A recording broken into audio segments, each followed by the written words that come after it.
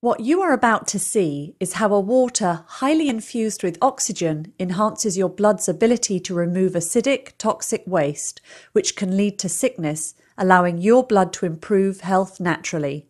While oxygenated water is not the sole answer, it can be used as part of an ultimate health regime that will allow your body to reverse health challenges.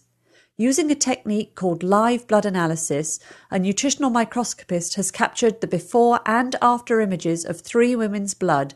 Each after image shows that Royal Liquid Manna has a positive effect on their blood.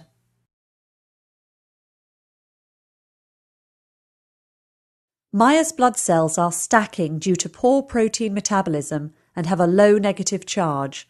There is lots of bacteria from animal protein in the plasma. Blood cells should swim in their own space. Maya's red blood cells are unable to transform oxygen properly around her body. Twenty minutes later, after drinking Royal Liquid Manna, Maya's blood is negatively charged and the acids have now been released from the blood cells for removal. Keeping her blood oxygenated will give her increased energy and better circulation.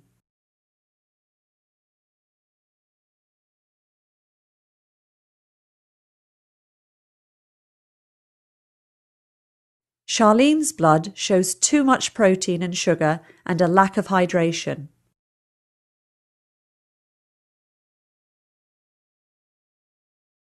Twenty minutes later, Charlene's blood cells have released acid into the plasma so it can be cleaned up by the white blood cells and the spleen.